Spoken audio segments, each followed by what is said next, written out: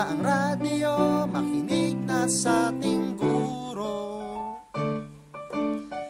89.7 ang Learner's Haven. 89.7 ang Learner's Haven. Huwag nang alalahanin problemang COVID-19. Pag-aaral kamtin kahit malamit sa atin 89.7 ang Learner's Haven. 89.7 ang Learner's Haven.